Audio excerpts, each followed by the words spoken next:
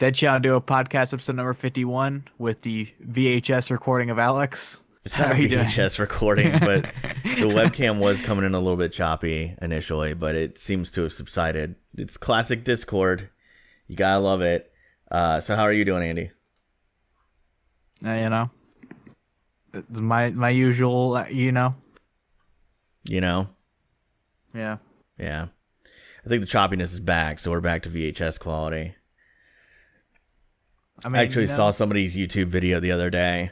No offense to the guy. I won't mention his name because I wouldn't want to embarrass anybody, but he was doing a like a full on like he was recording with a camera and um it looked like it was shot at about 15 frames a second. So it had like this very old school 90s vibe to it. No idea if that's intentional or not though. Uh, so you uh, cut out how many frames a second? It looked like it was going on for about uh, 15 frames a second, basically. Like it was very, oh. very, very choppy, and like Chris Stuckmann does his videos in 24 because he does movie reviews. The movies are in 24 frames. Yeah, I've heard that 24 will give you kind of that that cinematic feel, and then I've seen people actually turn on 24 frames a second in the middle of a video, like even like a vlog, and it feels kind of more movie like than 60 or 30 would. So I don't know. Maybe your brain's kind of tuned into that. Then Gemini Man, the new movie, was like 200 frames a second. It was oh, like oh, really? ridiculous. That is pretty ridiculous. Because I think your eye pretty much stops seeing after 60. I mean, like I know some people can see a little bit above sixty. Like I, I have even heard claims that it goes up to one. Oh, you got to run Fortnite in hundred frames per second, or you're a bum. Uh, you know, there are competitive advantages to running at a higher frame rate, but I don't know if there's really any visual advantage to running at like a super high frame rate. Could get that 2000 hertz monitor. Yeah. I don't really want to talk about super low latency monitors because every time somebody brings that up, it reminds me of this one person who would DM me endlessly. And if you're a longtime follower of my channel, you know who I'm talking about. Rest in peace. Yeah. And, you know, would DM me endlessly about PCs and specs. And like at one point, I told the guy, I'm like, listen, I don't want to help you out anymore because you're literally going on eBay and lowballing people on PC prices. Like there was a PC that he looked at, which by the way, the, the, the specs were amazing. This was like a $1,500 PC, and the guy had used it for a month. Now, everybody knows the minute you open that thing up, the minute it's, it's this way with computer parts, the minute you open it up and you use it, the price goes down. So the guy had it listed for 1100 which was like totally fair. And he's like, I'm going to offer him 600 I was like, you know what, dude, we're done. like, I'm not going to help you lowball people. That's really kind of scummy. Anyway, Andy, what have you been watching slash playing this week? Uh, playing, I played a game of Madden. Maybe no, maybe not. I had my bye week in the franchise, so maybe I played a game of Madden, maybe I didn't. I don't remember. Okay. And that's it. Uh, watching wise, I've been watching some a lot of Cinemassacre. Okay. Which we never usually talk about YouTube, but I'm watching a lot of throwback Cinemassacre videos. It's a great channel. Um, I watched a, one episode of a TV show called Insatiable on Netflix, and that show is awful. Okay.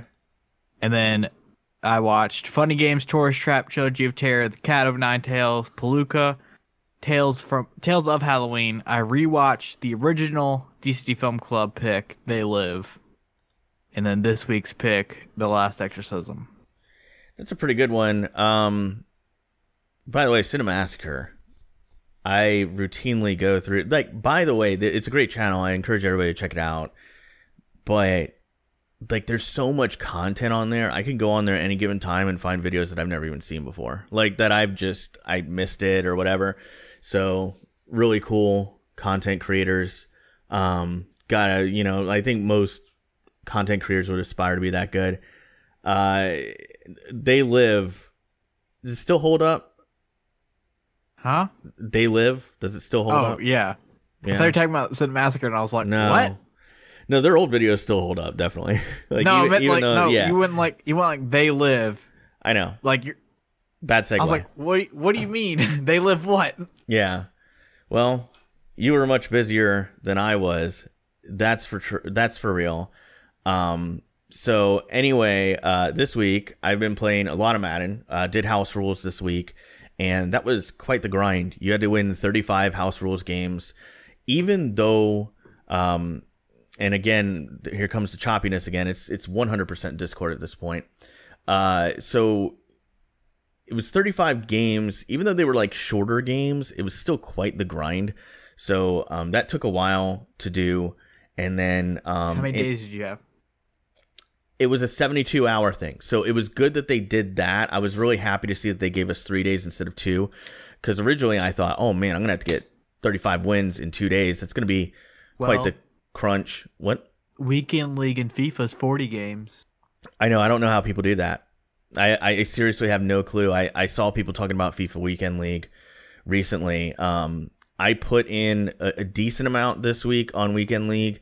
Did one stream on it. Played a lot offline. Didn't finish all 25 games. I just couldn't make it happen. I had stuff going on, you know, this weekend. Just it just didn't happen. Um, plus, I was a little bit burnt out. You know, like you, you play house rules. You got to get 35 wins. It was really good. Got a lot of coins. Got a lot of good players out of it. I ended up getting enough coins to get three MUT heroes. So it was pretty good. Oh man. What? That's a lot. I mean, those are the best cards in the game right now. So I mean, it it works out. So I've been playing that.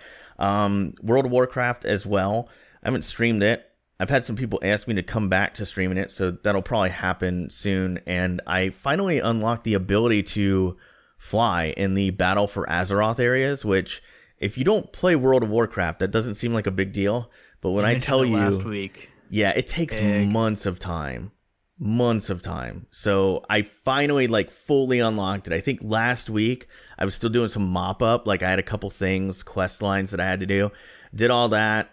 Um really happy about that. And then uh that's about it. I, I played a little bit of NES stuff on Switch as usual because it's just a really cool perk of having a Nintendo online. And then as far as watching, uh finished Lost in Space. So last week I was like I think 60% done with it. I did watch the last 4 episodes. My god, the writing got really sloppy. Like I still like the show and I still think there's potential there and I don't know if they're doing a second season or not. I'm, I'm assuming they will. But Yeah, since it's Netflix original, they usually do two or three. well, yeah, but sometimes they do one and it just doesn't work out. You know, like that's happened before with Netflix originals that I've that I've been watching. I mean, it's happened before with great TV shows like Freaks and Geeks. That's a good example of a show that probably deserved more than one season. I mean, I always look at TV shows and go, Bob's Burgers, one of my favorite animated shows, period. And I think it's really funny and really witty and it's great humor. And I like that it kind of breaks up the monotony of all the Seth MacFarlane animated stuff that's out there because it's great, but it's a lot of Seth MacFarlane. You know, that almost got canceled after one season. You know, like it, you, you can easily be one and done. So, uh, Lost in Space, I, I liked it through the first half. The second half, you could have told me they were different writers because it was a totally different tone and different way of approaching the story that I, I didn't really care for too much. I went back and um, Best Buy had a steelbook for Beetlejuice, the movie from I guess the late '80s, early '90s. I forget exactly when it was made. 80s. Yeah, uh, me and my wife watched that because she's a big fan of the movie, and we've put off buying the Blu-ray, but when we saw the steelbook, we just had to get it. So um, that has held up really well. Like I was kind of impressed. I thought, especially given the kind of movie it was and some of the special effects and all that, I thought maybe it wouldn't hold up so well. But like most Tim Burton things, held up really well. And uh, kind of told like it got my wife on this Tim Burton kick. She wants to watch like all these other Tim Burton things, like the first two Batman movies and Frankenweenie and you know Nightmare Before Christmas, all that. So I guess we're gonna be watching that quite a bit in the future. Watch this week's film club pick. Um, really looking forward to discussing that one. And uh, WWE, obviously, watch a lot of WWE. They're doing a draft. It's pretty interesting. So, Andy, first listener question here comes to us from Daniel at Reasons I'm Broke, special guest on episode 50 of DCD, is here to discuss Joker. He asks, Settle this finally. Are animes cartoons? Are video games toys? Why or why not? Also, do you think the national dex will come come up sword shield by launch? I, am I'm assuming he means like I. Will the national dex be in sword and shield? Yeah, yeah. I okay. So um, I'm gonna tackle this one first, and then I'll let Andy go, and then I guess we'll discuss from there. So. I didn't know that anybody was debating whether animes were cartoons because it is hand drawn animation, which typically animes are cartoons, but cartoons aren't anime. Okay, that's probably that. Yeah, I didn't know it was a debate, and I'm sure there's like anime guys out there right now that would flip out for me saying that. But to me, I always thought they were cartoons. I thought cartoons were like a really big umbrella, right? And yeah, that's like, what that's what it is. And anime would go underneath. Anime that. fits under there. Anime is a style of cartoon. Yeah, typically Japanese, but recently, like uh, RWBY is an American made by Rooster Teeth, and like a bunch of Japanese like weeaboos are like, it's not anime because it wasn't made in Japan. Oh, you know, I heard that that what, what's the name of it again? RWBY. Yeah, I heard somebody discussing that, and it was like it got super heated between uh, a couple people that I know, and I just couldn't believe that it was that big of a point of yeah. contention. anime literally stands for animation, so there you go. So Andy with the facts, and me not even knowing it was a discussion to begin with. Are video games toys? I- no. I'm gonna say so originally I felt like they kind of were. Like when I was a kid, I, I can kind of see why you would classify it as a toy. But nowadays, I almost feel oh god, here we go in this discussion. But I know it's been this like discussed for really 20 years now almost because I remember right around the PS2 era, people started saying are video games art? And I think they can be. I'm not saying all video games are art, but when I look at something like Braid, Braid is a really good example of a video game that I feel is art or Ori. Everything Ninja Theory makes. What game is that? Uh, Hellblade. Yeah, that that's a good one. I mean, uh, you know, Ori. Um, yeah. I know it's an Xbox original, so maybe some of you, if you have an Xbox, you have to play Ori. It's amazing. It, it and that's to me that's art. It's so, on PC. Yeah, so I, I, hate to call them toys at this point. The other reason I would not call um, video games toys is because you could play your video games on a PC, which is far from a toy, and video game systems nowadays are basically PCs in a box. And I don't care what people want to say about that. At the end of the day, look at what's in the current generation of consoles they're PCs in a box, aside from the Switch, which the only reason I don't say that is because it's not x86 based architecture. Do you think video games are toys, Andy? No. You seem like you don't. But to play devil's advocate, yeah. What about Skylanders? See, that's where I think it crosses over, or like Disney Infinity, you know, or which amiibos. Yeah, I really don't think amiibos are toys though, and, and, like the reason I say that is because you can't like really play with them. Play with them, like they're just little tiny statuettes, um, yeah, that are utilized. But uh, Skylanders, which by the way I own a copy of Skylanders on Xbox One, um, really cool game, really cool game. Like for kids, it's awesome. Um, but they're fun to play with because you can break them apart and put them with each other and like mix them up. It's really cool anyway, um, I, I that's a good devil's advocate thing there. Uh, next one. Do you think the national dex will come to Sword and Shield by launch? I don't think so. There's been no indication whatsoever that they're going to get everything in there. And I don't think that it matters. I know that there was a pretty heated debate in a Discord server that I'm a part of about this very thing and there has been an ongoing heated debate about this mattering or not mattering for a while. Me personally, I don't care enough. I'm still buying the game anyway. And then I'll go a step further and say that Pokemon fans, the people who buy all the games, they're still going to buy it. They might be protesting now, but they will break down and buy it. but I don't think it'll be there in launch. And by the way, the Wait, secret they're not the buying it secret because source it doesn't have the national dex. there's I I know one person in particular um who I will not name because I know they'll get very mad at me. I can be a little like weeb, like a little nerd, and be like, well, technically, Generation Five didn't have the national dex. It had a whole bunch of new Pokemon. It had like 150 new Pokemon. Well, the argument is that the national dex has all of the Pokemon from all the games, right? Yeah, Like a and then they have universal Pokemon list. Bank or whatever they're calling it now, where you can transfer everything to the new game, no matter if it's in the Poke National Dex. Well, the new game you're not going to be able to transfer everything, Andy. I mean, who cares, honestly? They they couldn't get it all in. And and by the way i want to be really clear here. I know that there's a persistent rumor that's been out there saying that the developers are just reusing 3ds assets. That's been disproven multiple times. So like please don't use that as an argument. You sound like a fool using that argument. They 100% are not reusing in-game assets from the 3ds they had to redo mm-hmm. everything. And even if they were reusing it still takes work to get them over I, I don't really blame them for and, and I think eventually it'll come. I think it's a no brainer that eventually they'll get the whole national dex in there. But I don't think it's gonna be at launch. I, I if, if I'm Nintendo slash Game Freak slash the Pokemon company, I really want I think Game Freak's the one who's making this one. I could be wrong. Um I made every single one. Well, I know they didn't make like all of them like the Pokemon Ranger stuff and all that. but anyway, they- all the main series games. Well, yeah. So like if I'm them, I'm really concentrating on having a successful launch with what's in the game and then just kind of adding this I, don't get me wrong. I realize it's a fan favorite. People want it. You got to give the fans what they want.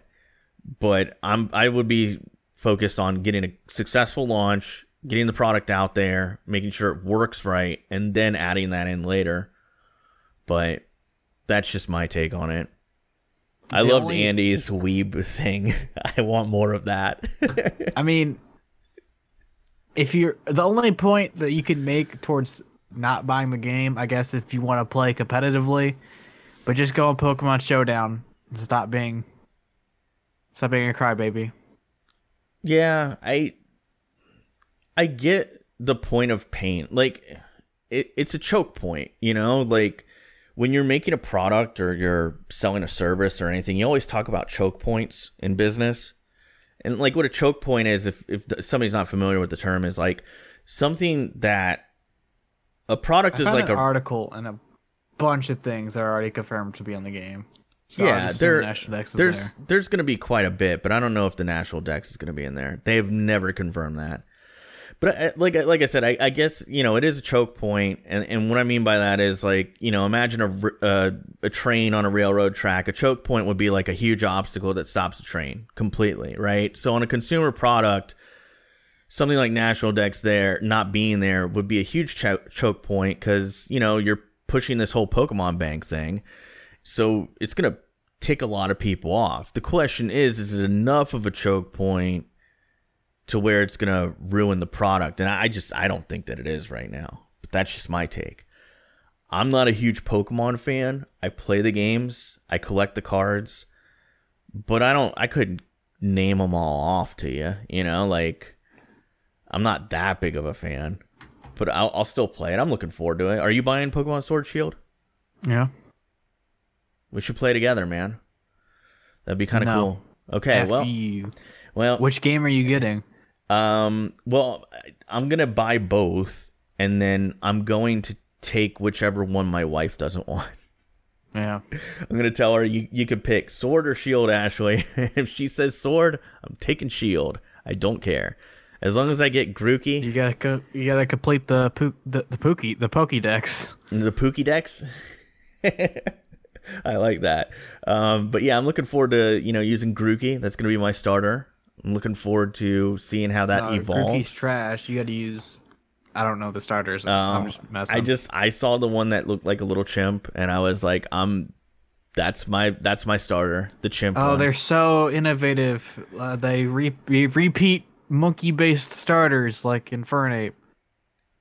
I I'm like that. memeing. I mean, I like it though. I don't know. I I love apes the. I love apes. So you know, I studied anthropology in college. I love apes. So of course I'm gonna pick that one. Uh, but thanks for the question, Daniel. Um, great discussion out of that one, and uh, we got Weeb Andy impression out of it, even with the pushing the glasses up. That was just that was epic. So uh, next question comes from Reuben Jim gamer. At Cuban Slim on Twitter. He says, "Name a toy you had or item when you were little that you wish you still had today. Two reasons: is it either sentimental value or worth lots of cash these days due to collector value? If you had it, would you flip it or keep it?" So, um, I know I just said video games aren't toys, and I'm gonna stick by it. So I'm gonna say he said item. So if there was one thing I wish I still had, it would be my original NES system and the games that I had with it. I remember very distinctly as a kid, I so I had my NES really late into the lifespan. Like Super NES had come out and the Genesis had come out, and I didn't have either one. So I, I stayed on the NES platform for a while, and over the years, I built up a pretty good collection. I had, I had a little bit over 30 games. Um, Oh man. yeah, dude. I mean, well, there's a lot. I mean, you know, you think about it. I had a, I had the system for six or seven years, and you know, when it was Christmas or if anybody was gonna buy me something for my I'm saying, like, birthday, you know, Uh, times have changed. I've owned my Xbox One for six years, and I have like 350 games on it. Well, yeah, now that I'm an adult with disposable income, like 30 games seems like nothing because I spend way too much money on them. But um but yeah, like I had a really good collection and a lot of the classics, you know, like all the Marios, Balloon Fight, Zelda, Tetris, you know, all the ones that are on like the mini NES basically, plus some other ones. Um, I had like the original DuckTales on NES. I had the Alvin and Chipmunks game on NES, and like I know have th- Kirby's Golf, or was that SNES? no, that was Super NES, but um, I had like you know some of the really good ones. I know that Ducktales cartridge is worth quite a bit now. But anyway, uh, one of my favorite games wasn't even like a really successful one. It was uh, it was called Guerrilla War, and it was a lot of fun. So like for sentimental reasons, I would want it. I know I could probably flip it for a good amount of cash, but I'd probably just keep it. Andy, any childhood? I uh, read the question wrong, aka I read the first like four words, Yeah. and then thought the question was something else. okay. Uh, I thought I was asking what stuff do you still have today because of sentimental value, which is nothing. Everything in this room has been a, the oldest thing in this room is my Xbox One, if that, which is November twenty something, twenty thirteen. You don't have your 360? No, The one that you threw in the snow? no, Oh, damn. that was an Xbox One. I'm pretty sure. Oh, okay. I don't remember that video. Um, yeah, It- I wish I had, and this still like this. I don't know. I guess I can steal your answer and go with all, the consoles I used to have. Mhm. Um, I mean, I vividly remember when I moved out. I was like, "Where's my GameCube?" And then my mom threw it away. So See, GameCubes, that, that's another one that I wish I had. Like, but that wasn't childhood for me. So I didn't list that Oh. one. incorrect. I have a PS2 in my closet. Technically, that's one thing. That's the oldest thing I own. That's pretty tight. That's pretty Um, tight. I, I regret getting rid of my GameCubes. I really regret getting rid of my original Xbox and PS2 as well. Even though I wasn't a kid at the time. My Genesis, I sold at a garage sale to hopefully buy an N64. and like I totally got duped by my stepdad.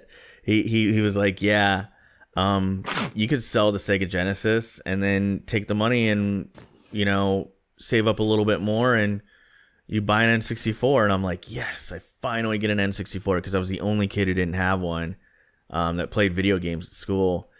And after I sold it, he's like, "Yeah, you're not getting an N64." I'm like, "Oh no, I, I can't get my Genesis back now."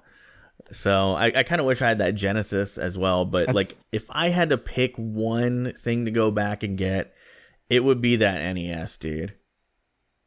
That's it would funny. be the NES. When I was in school, no one talked about games. It was a golden, a secret rule no one discussed, where we no one talked about games. Yeah, well, you know, here's the thing, Andy. I was kind of a nerd. Like, I got made fun of a lot for talking about games. I got made fun of a lot for collecting Pokemon cards. I got made fun of for liking pro wrestling. Like I kind of like I don't know, like I don't regret it, but I kind of wonder if I went back now with my 34 year old brain and I was like 12 again, would I just try to be cool and be like, ah, that stuff's lame? You would hate everyone. I would probably hate everyone. You'd be like, oh my god, because these kids, you'll be like talking to the teacher like, like, what's your thoughts on Bill? Cl- I don't know who the president was at the time. Bill when you were Clinton. that age. Like, what's your thoughts on Bill Clinton and you know shoving cigars in places he's not supposed to? So that's kind of where I feel like I remember this one parent went to my mom and he was like, you know, your son's kind of like he seems old for his age. Like the way he talks about things and like the ideas that he has, they're kind of like old guy ideas. Cause I remember when I was in school, I was like, I really didn't like Bill Clinton. And I had good reason for it. A lot of people go like, "Oh, you're just an idiot. You're some stupid kid." He's like, "I don't like the president." Like, no, I thought the crime bill was a terrible idea, and I thought that the limitation on magazines making that a federal law was a terrible idea as well, and it didn't stop crime at all. And to this day, there's aspects of the crime bill like the mandatory minimum sentencing at a federal level Yeah. that people are trying to get repealed now. And I'm like, well, that was your president back then. You you got the super liberal people. You guys wanted Clinton, and that's what you got out of him. Um, so I wasn't really a big fan of Clinton. And then the scandal came, and I remember going like, well, shoot, this guy might get impeached. If I could have voted back then, I would have voted for um, Bob Dole. I thought Bob Dole had some good ideas. But yeah, like I, I, I always tell people, man, just like try to be yourself, but at the same time, being yourself can kind of get you picked on. You uh, you remind me of a time a teacher roasted a kid for politics, really? and he was like, "I don't like Obama," and my teacher was like, "Why? Just give me one reason why." And he's like, "Obamacare," and then my Mm. teacher goes, "Now tell me what that is." And the kid just didn't know. Yeah, you know, it's kind of interesting when it comes to Obamacare and the ACA in general. So, like, one funny thing that I saw someone do was um, they took the ACA and they broke it up into parts because that's really what it is. Like, there's a lot of different aspects to ACA. And what they found is that a lot of Americans that were against Obamacare would agree individually to the aspects that make up the ACA as a whole. So it is kind of funny how sometimes you can see someone's name on something and maybe you don't like President Obama, so you're therefore opposed to Obamacare just because it's it's him. No, I think it's Um, more everyone just listens to what their parents say and don't have a actual opinion for themselves until they're old. You're you're right. I mean, like to a point. It, it depends on the kid, I think. You know, like my mom was really big on like do your research, know your facts. You know, have have an informed opinion. Um, like when I got to voting age or close to it, she kind of she always instilled this in us, but like she kind of reinstilled it in us. Like if you're gonna vote, be informed because your vote counts just like somebody's who somebody who is informed. So like one of my biggest pet peeves is people who like stumble in a voting booth and then just fill it out like it's a Scantron Christmas tree test or something, you know. And um like even when I went to the polls last time, and this is done on both sides, Every conservative, yeah, conservative and liberals both do this, by the way. So I'm not attacking one side or the other, but you go and you show up, and there's people who are handing you pamphlets saying, vote for this person, this person, this person, this person, and vote yes on this, this, this, and this, and no on this, this. It's like people not thinking for themselves, and I hate that. And I- like I would prefer that people do what what I do and a lot of other Americans do, which is, you know, take a look at all the facts, get an idea, especially political candidates, get an idea of what their history is, what their track record is, and make a educated voting decision based off of that. But um, No, I just listen to Fox News and well, you know, here's the thing. I like Fox News because you guys know I'm a conservative, but even I'll tell you, sometimes I'm like, this is hard to listen to. CNN is, they, they say they're centrist, but they're so far left nowadays. I mean, and that's fine. I, I think that the left should have a voice just as well as the right. But you know, don't say you're. I just watch you're not. C-SPAN all day. C-SPAN is probably about as neutral as it gets. Um, so uh, final listener question comes from the troll Colby. He says, "What is the name of the boat from Titanic?" Which, The Lewis and Clark. yeah, I, I I've got to put that right up there with uh, someone who asked at one point. I forget who it was. They said, "What's the name of the things in the movie Gremlins?" You're like, what? Like, how could I you not? Scott did a meme one, even though I'm pretty sure he doesn't listen to the podcast. What's that? I don't. I don't remember what it was. I just he, he submitted a meme question. Oh, oh, okay. Don't submit questions if you don't listen. Don't be a jerk. Anyway, I mean, we got 25 votes on the poll, but I don't think we have 25 listeners mm, to this- roast ourselves. No, like I, I wouldn't, I wouldn't say that. The The numbers would indicate that we have more than twenty five listeners. It's not much more, but it's more. so anyway, uh, depending on the week. Anyway, uh, DCD Film Club review of The Last Exorcism. Uh, this is something that I've uh, been looking forward to covering for the Halloween month, and Andy's already laughing, so I know how this is going to go. Uh, so it's a movie that came out 2010.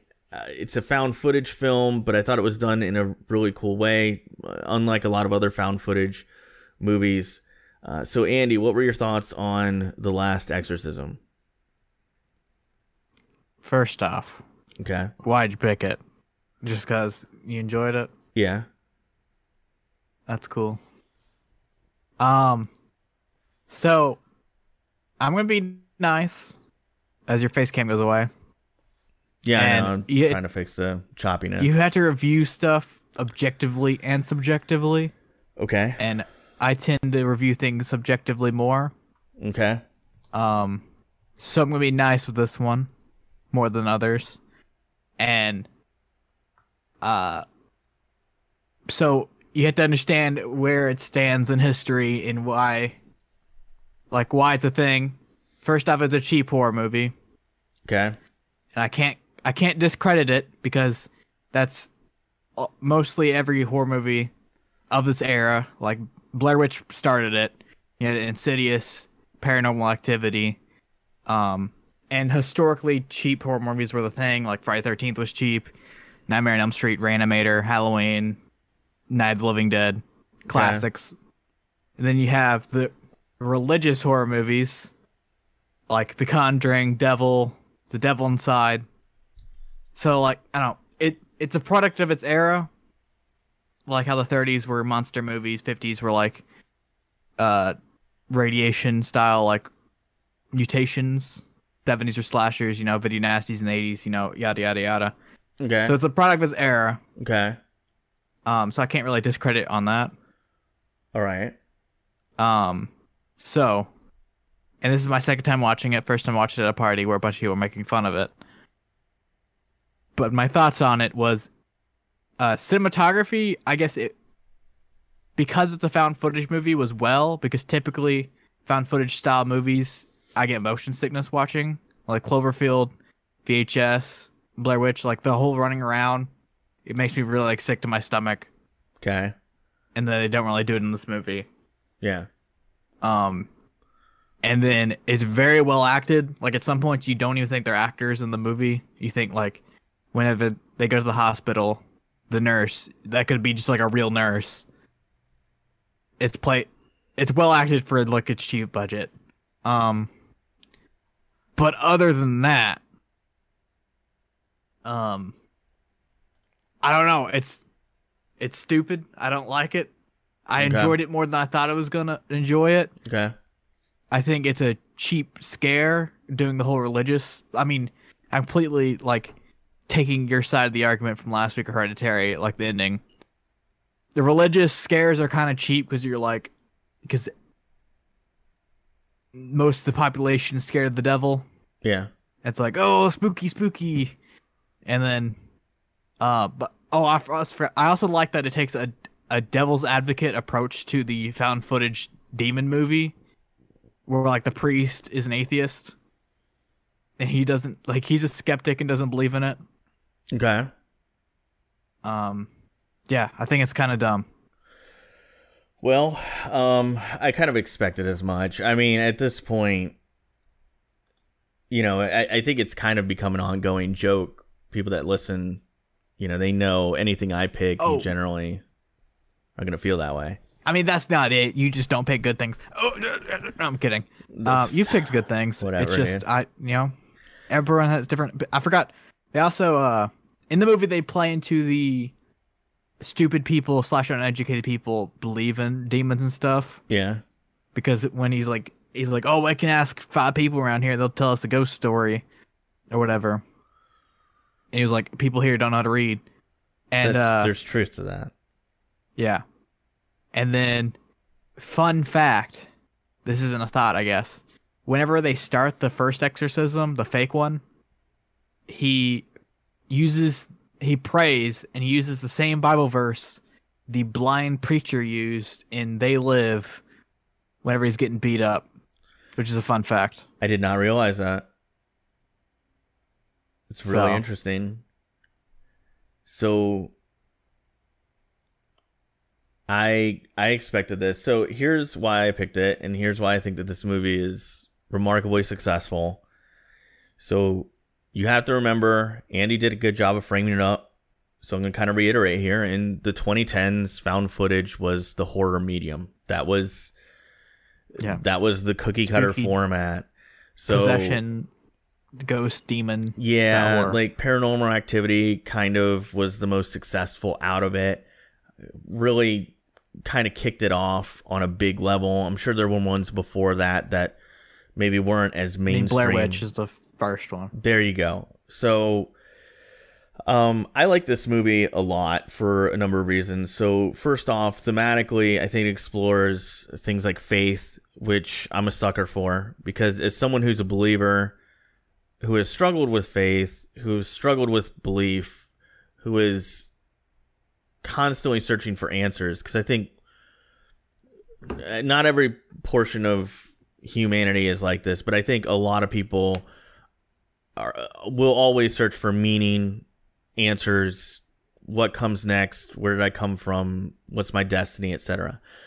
So I think this is cool because at the beginning you're following Cotton who is he's a minister and he's wildly successful at doing it.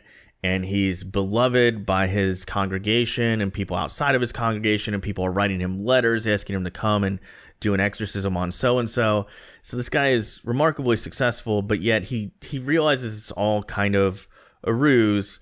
And this is filmed in like a mockumentary style where they're following him to kind of expose exorcism. It, it, you have to imagine like it's a film crew doing a documentary to expose how fake exorcisms really are, so they can kind of expose it as this Middle Ages style practice that has somehow like survived all this time. And they do talk about things that Andy mentioned where, you know, he goes to a town and all these people, they're not very educated, but they have all these stories about ghosts and demons and they think the gates to hell are right there in the local town off of this road and you name it. And I think it's well based in reality because there have been studies done that show that the lower the education level, the more propensity there is to believe things like ghost stories and demon stories and mothmen and you name it. So, um, same thing goes for like I'm a big person. You guys know I love aliens and stories about extraterrestrials. Same thing applies there. You know, like the lower you go on the education and IQ scale, the more common it is that someone has been abducted or seen an abduction or UFOs hang out outside their house every night. Like it's Isn't a it weird that it's a now thing. that phones are a thing, the UFOs don't appear anymore as much? I mean, it's a that's a discussion for another day. I Because UFOs think, are smart, they're aware the phones are there. You know, oh, Alex Jones. well, to be fair, like I think it's important to frame things up logically, if there's a UFO and it's from a spacefaring society, they've probably already perfected light speed travel. So wouldn't it go without saying that they've probably already figured out cloaking? I mean, if you figured out light speed travel, you figured out everything at that point. I mean, I that's mean, the last in the big trajectory mystery. that our society's going in. What if there's a society that discovered space travel, but they don't have like phones and guns yet? That could be possible. I mean, I did There's read it. different technological advancements between different societies. I, I did re- okay so theoretically if you're going to achieve light speed travel you have to have and i'm not saying it would be the same mathematics that we have obviously it would be greater mathematics or maybe even different mathematics altogether but you'd have to have a very superior mathematical understanding to figure something like that out it just doesn't happen unless you're talking about it maybe a society that becomes extinct, leaves the technology behind, a new society comes in, finds it, and utilizes it. That's another theory that's been thrown around. I don't know. Mass Effect explored that with jump drives. Anyway, Mass Effect relays, I should say. Anyway, um, the uh, the the beginning is really good to me. I really like the beginning because it's a guy who he he doesn't have any faith, and it tells the story of where he walks into what he thinks is a fake exorcism. You know, Nell, it, he he truly believes she isn't possessed. At one point, the theory is that she's a victim of incest. Uh, another theory was that you know the the brother was involved at one point or the father was involved. You know that they went back and forth on that. They even said that she got pregnant by some little fella who worked at a restaurant at one point who ends up being gay. So that doesn't check out. And at the very end, he finds out that there is this satanic culture um, going on in this town. Nell's a victim of it. The father's a victim of it. So is the brother. And, um, you know, it, it, he he regains his faith. So I think that's a good story. It's it's about a man who's lost faith and regains it through something intensely negative happening. So that's not great. But at the very same time, like that's what faith should be. It should guide you through the toughest parts of your life. And I think that it's a it's a good story in, in that way. Um, as far as a horror movie, I thought the end was really dark, and I liked it. There's no happy ending, and I thought it was pretty cool how that last shot was of the guy getting chased down and uh, basically hacked to pieces. You know, I- yeah, I, I, just thought it was you know the sh- the shoot they was shot really well and, and really well done and it felt like you were watching a documentary. They, a lot of times you know Andy put um took the words right out of my mouth. A lot of times they don't feel like actors and actresses. You know, it, it really just felt like I was watching a documentary. Um, which of course makes it a successful mockumentary, but then they add the horror aspect to it, which I thought was wonderfully done. Um, so I like this one but you know i don't know. I'd be interested to see what the listeners think about it. It made money and it was well received by critics and uh, users um, as well. So a lot of people do like this movie and think it's successful um, i will tell you the sequels are nothing like it the sequels are not done in a similar style at all. And there's not much, I don't think there's much, if any, carryover whatsoever. Like, I watched the second Last Exorcism 2, and I was hoping it would be like another movie like this where it follows around a preacher who's doing exorcisms or something, and it's nothing of the sort. It's totally different. So, um, wouldn't recommend the sequels, but I think this one's really good. Out of 10, I rate it a six and a half. But it's solid. I think everybody should watch it. Five. Andy gave it a five? What? I'm surprised. I was expecting like a four or a three. Two. Two? Okay. I'm kidding. it, it's a. I don't know. There's this. There's a spoof movie of this that I've seen. Before. Really? I've seen this movie before, and I've seen there's a spoof version. By the way, awful spoof movie. Um, well, all spoof movies are bad, but it's called Supernatural Activity, Oh. And there's a part in it that I think is hilarious, where a guy has a shotgun and he goes "Squirrel Demon" and shoots into the tree. okay, that's funny. That's funny. but I don't know. Yeah, it, it's. I wouldn't recommend it. Uh, I mean, that's... Everything I rate is six and up. I would recommend. This is just under recommendation. Oh, okay. I didn't know we I guess, on. I didn't know that was your scale. Like to me, it's usually. I mean, I, not really, but it oh, okay. kind of is, I guess. Yeah, I I don't know, man. I I think it's really good. I think Patrick Fabian's performance is worth it alone. Um, but you know, I don't know. Agree to disagree. I it's the best found footage movie I've ever seen.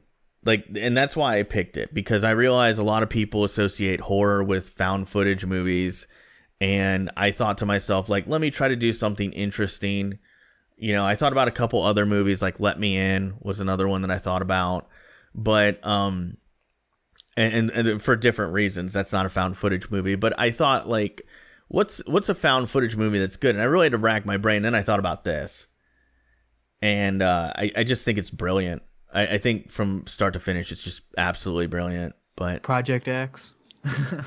yeah, Found footage.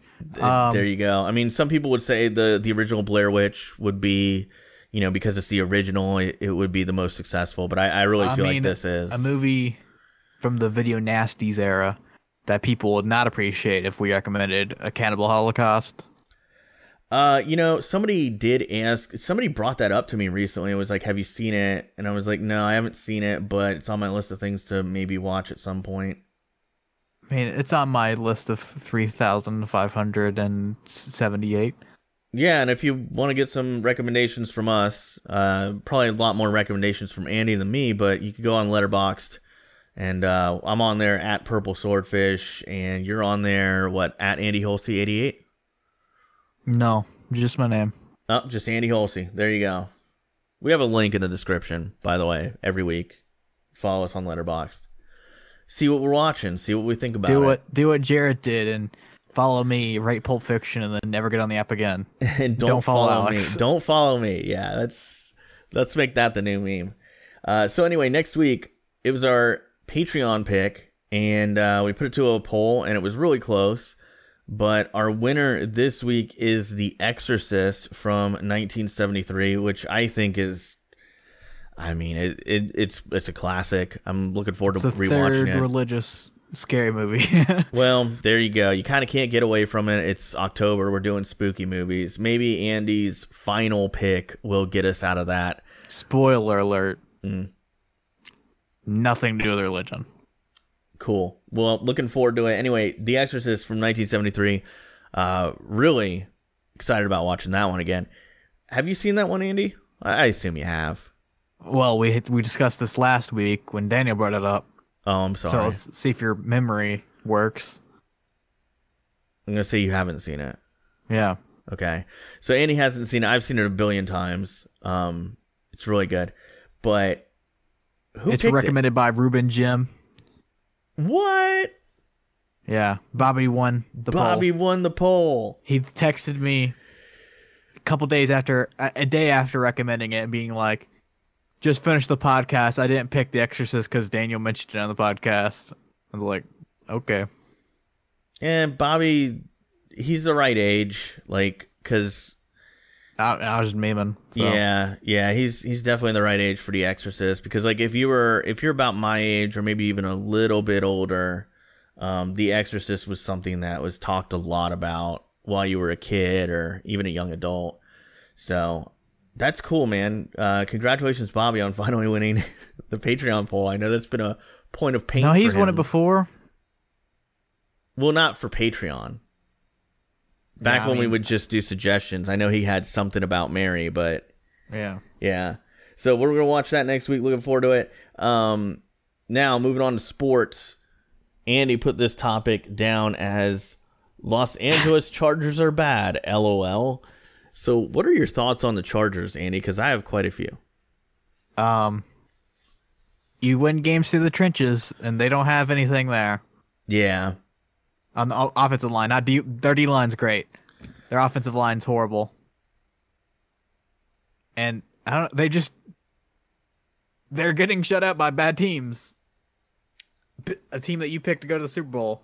Yeah, I've I, I picked him winning the Super Bowl as well, so I feel like a real idiot now. I've I have a lot of thoughts on the Chargers because I wouldn't call myself a fan of the Chargers or anything, but I do like Philip Rivers and I do enjoy watching Philip Rivers play and I think that he's going to be a quarterback that when he's gone, when he retires, people are really going to look back and go, "Wow, we probably didn't appreciate him as much as we should have as as far as a player like the the level of excellence that he's had over the years it's pretty staggering.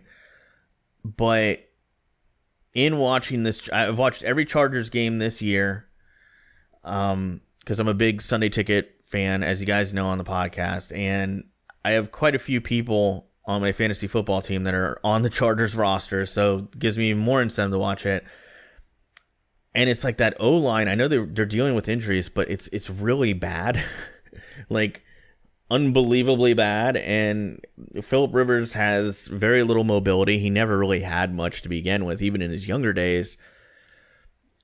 It's it's hard to watch, man. I, I it it's frustrating to watch because you see all these playmakers, right? Melvin Gordon, Austin Ekeler, Philip Rivers, obviously, captain of the ship. Keenan Allen, Mike Williams, to a much lesser extent, Travis Benjamin. So Hunter Henry, these are all really big playmakers, great weapons on offense that other teams would die to have. But the O line just can't hold anybody back. So I don't know, man. And the defense really isn't that good this year. Like I know the the D line is good, but their D is not playing well either. And every game it seems like I don't know if if you've seen this either Andy, but it seems like every game they get themselves in this big hole and they almost climb out of it, but then they run out of time. It's like the same thing every week. Keenan Allen even said it on Twitter. He was like, it's the same thing every week. What do you think fixes it? Do you think Anthony Lynn's going to get fired? Because I think he's going to get fired, and I feel bad for him. There's a report today that he lost the locker room, so probably. I just don't think it's his fault. I I forget the the, players name don't- of the guy that they drafted, but they've they they've put some major picks into that O line, and nobody's Adderley? panned out. Oh, hold on. I don't know. Nobody's panned Hey, yeah, out. Forrest Lamp, WKU. Well, how do you feel about? How do you feel? and Maybe you could give me some perspective on this. Is it the stadium? Is that why fans don't go to Chargers games? It's the LA area. No one cares. Okay, There's no fans in LA. so then that kind of confirms what I've been trying to tell people for years, There was more which is 49ers fans at the Rams game. It was a 52-48 split. Okay, 49ers so favored. I, I'm sure you watched the Chargers game against the Steelers, and you saw it was a Steelers crowd, like overwhelmingly a Steelers crowd, not even 52-48. Like it, it had to be at least 70-30. So I, LA doesn't have a football fan base. I just don't get why they keep moving teams back there. Like it's like they didn't learn from the Raiders and the Rams in the 90s. Cuz I don't well you don't you wouldn't remember you you were barely alive. No, you might not have no, you weren't even alive when this happened. So in the 90s, the Rams and the Raiders were playing you know, in Los Angeles, and the reason they relocated to St. Louis and Oakland respectively is because attendance was atrocious. Like they couldn't make a dime Yeah. at the gate. It was so bad because I don't think LA people really want to watch sports other than the Lakers, No, they Kings. Kings. Yeah. Hockey. Yeah, maybe a little bit. Maybe when they're good, but not when they're bad. I don't know. I just Yeah, hockey is- is insane. I feel bad for San Diego. They lost their team for nothing.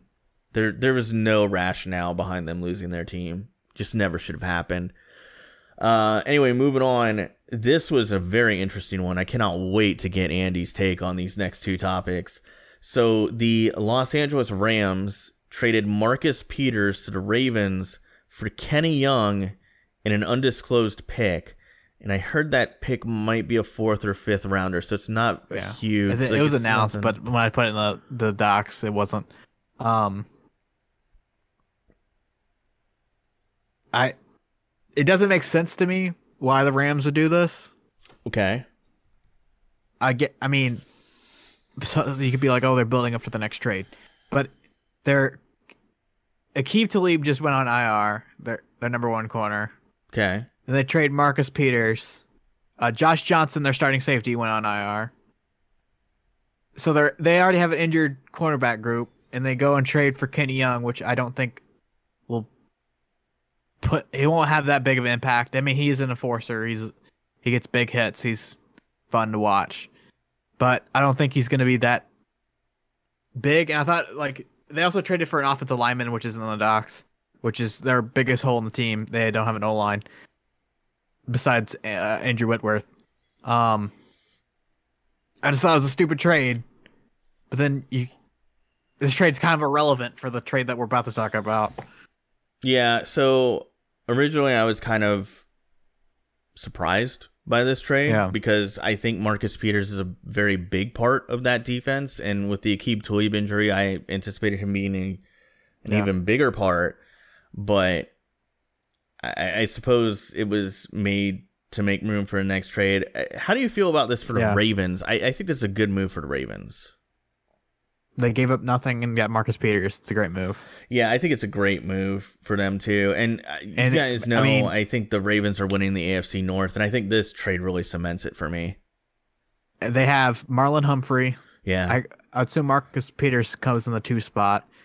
Jimmy Smith's aging piece, aging piece. Earl Thomas is great. Uh, not really this season, but has been in the past. He's shown glimpses of the old Earl Thomas. I mean, Tony Jefferson's hurt. so yeah, I mean, and Marlon Humphrey is a guy who I, I don't really know who who would be one, two, and three in the Ravens. And the reason I say that is because if you look at how the Ravens traditionally split their corners, uh, they move people around a lot. So like. There isn't really a true number one that is always playing a number one wide receiver. Like they move Humphrey around, they move Smith around. I, think it's to try and keep people fresh and also give people new looks, and, and that's not such a bad idea. I also think that they kind of modify who plays where based on the individual matchups and what everybody can bring to the table. I'll tell you this much: if if I'm facing the Ravens and you're telling me their secondary has Jimmy Smith, Marcus Peters, Marlon Humphrey, Earl Thomas, it's pretty stout. I like it, and I, I think you know, like I said earlier, I, I picked the Ravens to win the AFC North. I think they still will. Um, I know a lot of people are still hanging on to the Browns. I just don't see it, and I don't think that the Steelers are anywhere close to where they need to be. And the Bengals, I mean, I think they're pretty much out of the race at this point. I think we can all concede that. So, No, AJ Green's gonna come back and they're gonna go off. I'm Eh, kidding. you know, what's what's interesting about that though is you know, if they had AJ Green this year, I think it would have really helped them. I think they would have at least won a couple games. Um, cuz they played pretty tough. You know, like they were not an easy win I mean, for several my opponents. 49ers, you know. Well, of course, the 49ers. the 49ers look like a million bucks right now. They're not. Yeah. I mean, they're steamrolling everybody. So, um, next topic here, somewhat related. Uh, Jacksonville Jaguars trade Jalen Ramsey. So they finally acquiesce and they trade Jalen Ramsey to the LA Rams for a 2020, 21, 2021 um, first round pick for each draft. So the next two firsts and a 2021 fourth rounder. Uh, quite the haul. I realize a lot of people say the Rams are going to be, you know, late pick because they're Rams, all that. But you still got two firsts for Jalen Ramsey. A guy doesn't want to be there. Um, overall, I think it's a good trade for the Jaguars. I think it's a phenomenal trade for the Rams. It's a lot to give up, but you get a great player back. Andy, how do you feel about it? Now that we've talked about the Marcus Peters one, uh, Jalen Ramsey obviously he top two cornerback in league, arguably next to Stephon Gilmore. Um, they're hindering their future to win now, which is kind of been their thing. They haven't had a first round draft pick the past five years. They've traded all of them. That's true. They traded for Cooks with the first rounder. Um, I don't. They're they got demolished by the Seahawks and the 49ers. They got to do something. The O line's terrible. They went out and traded for O line. Uh, and then also with the hindering their future, that kind of makes the Marcus Peters trade weird because like uh, Marcus Peters is an expiring contract, but wouldn't you want to keep him on, even if he doesn't resign? Also, I don't think Jalen Ramsey is going to be able to resign with them, just because they're paying Jared Goff. They got to pay Aaron Donald. They're paying all these big contracts. yeah. I don't know if they can find the money to re-sign Jalen Ramsey, and they're giving up a lot, hoping obviously that he will resign. I like the idea of pushing all your chips into the middle of the table, especially considering you just went to a Super Bowl. It's kind of a cautionary tale, though. you know, I mean- and Historically, teams that lose in the Super Bowl usually fall apart. you're right. Historically, they do. You know, even teams that do win a Super Bowl, sometimes they fall apart. So, like, you look at the 2002 Bucs, they traded a lot of their first round picks. They had no first round picks for three years after their Super Bowl win, and it really showed. Like, once they hit 05, 06, you could tell, you know, You got to do the Packers. You got to replenish the troops in the draft. I think it.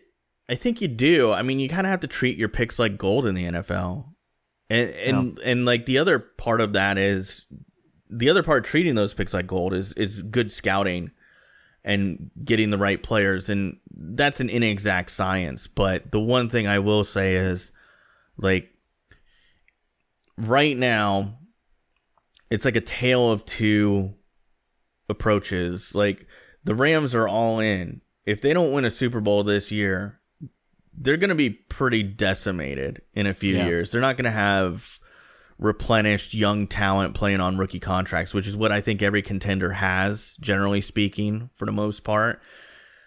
Um, and then you have other teams that are like building up this war chest that it's going to be really interesting to see how they do. So, for example, Miami, they have this plethora of picks, like a embarrassment of riches of picks, which could easily be squandered. We've seen teams do that before, but you know, if they do utilize those picks properly, you know, Not they- drafting Tua.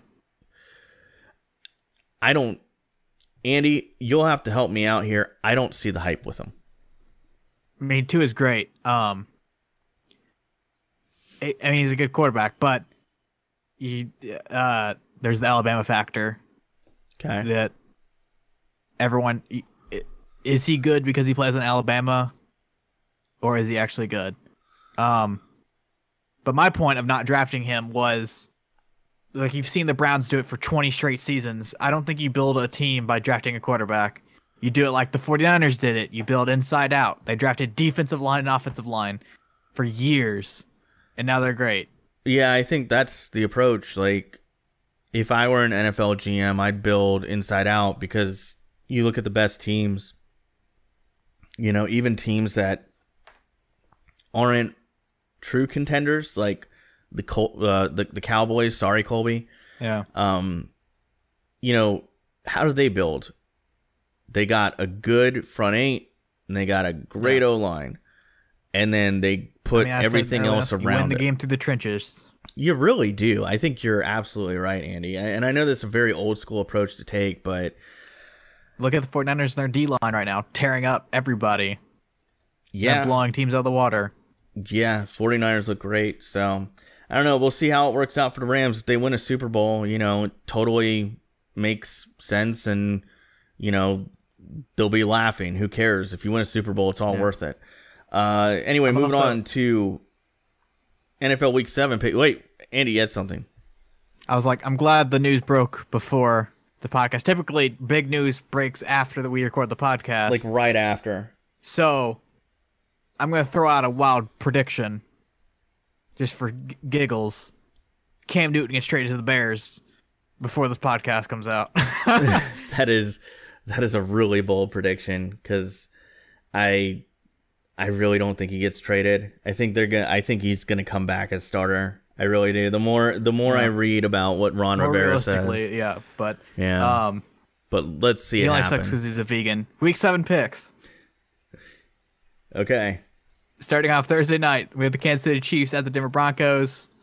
Going with the Chiefs to finally win a game after three weeks. Yeah, I don't like the Broncos. Um, the Joe Flacco experiment, I don't think is really working for them. I'm going Chiefs. Another team on a two-game losing streak, the LA Rams at the Atlanta Falcons.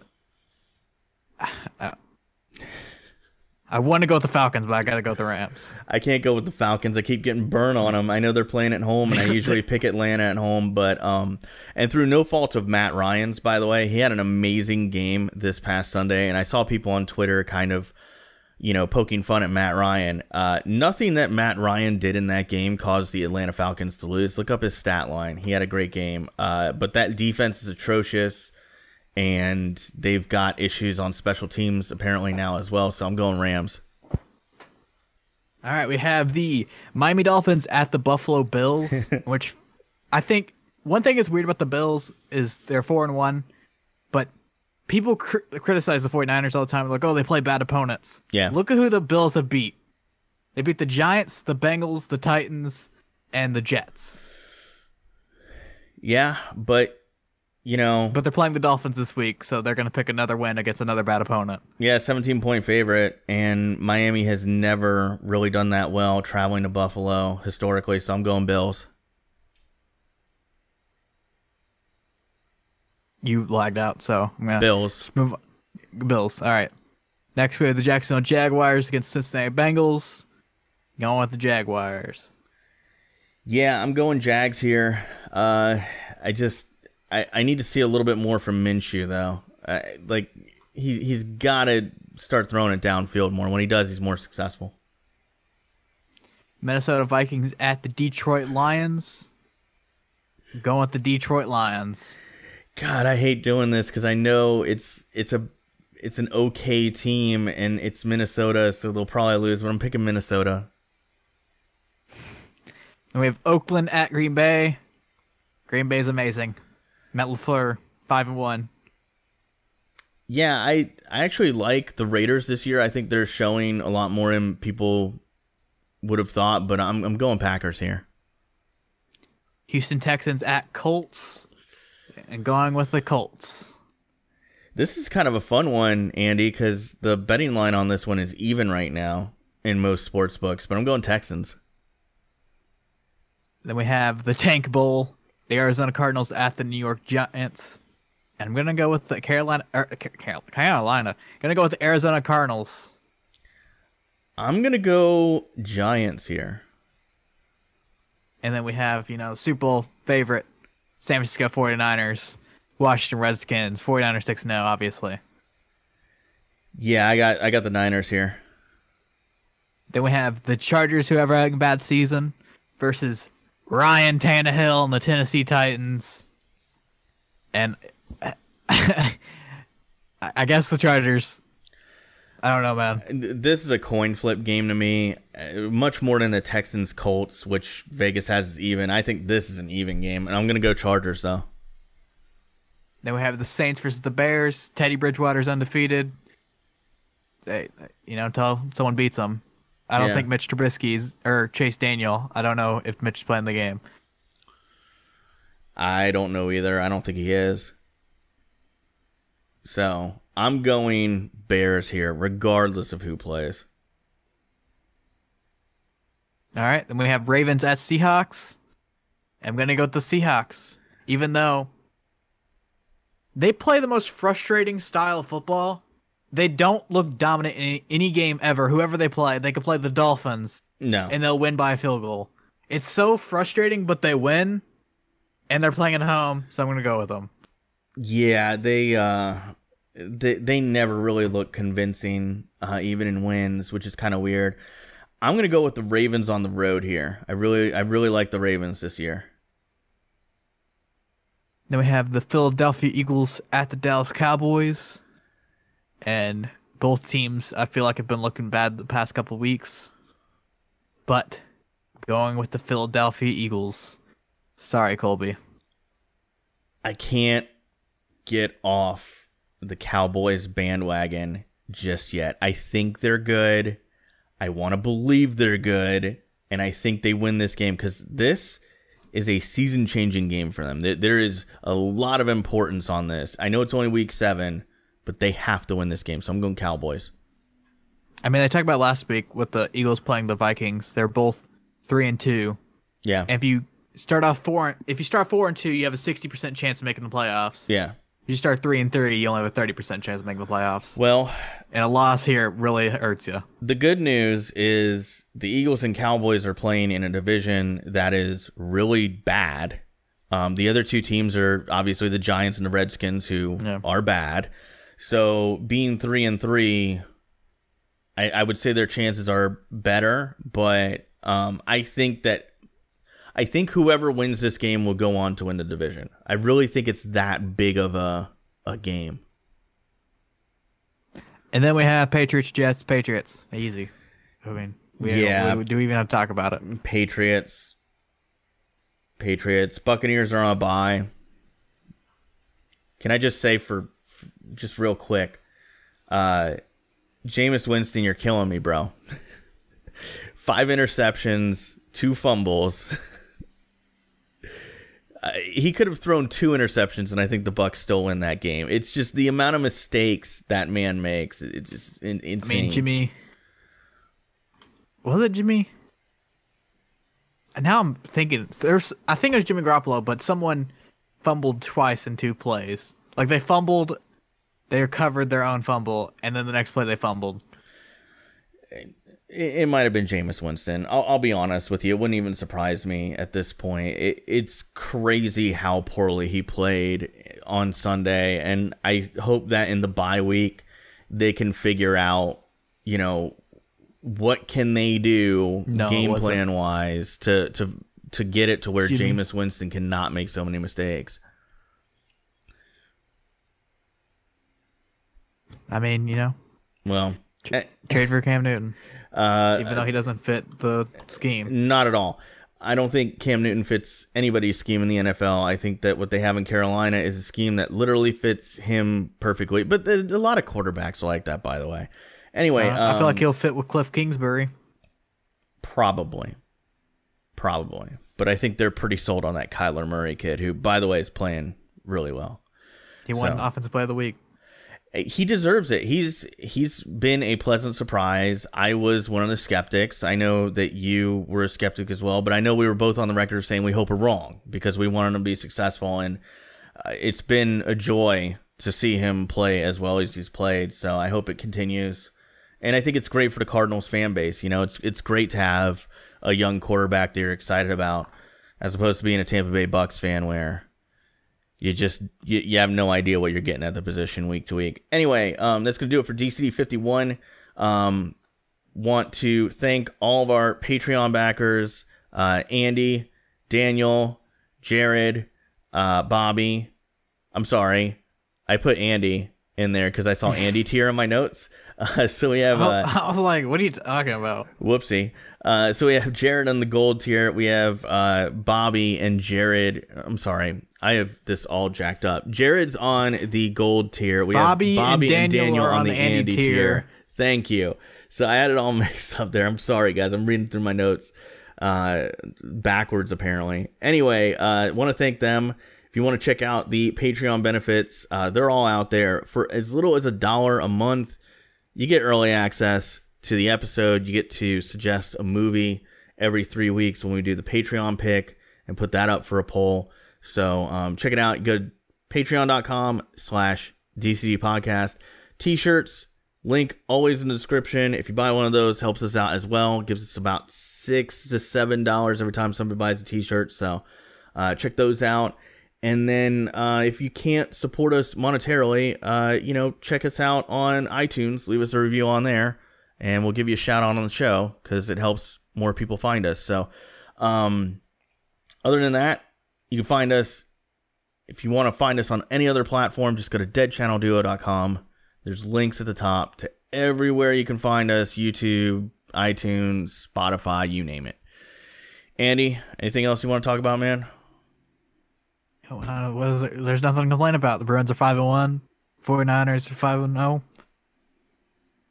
Celtics look good. The, Carson Edwards had seven threes in a row. 24 yeah. points in six minutes. They beat the heck out of the Magic in a preseason game. So. They beat the heck out of everyone in the preseason game. Yeah, well, I think it's going to be a good year for them. Anyway, that's going to do it for DCD 51. Thanks for listening. We'll see you next week.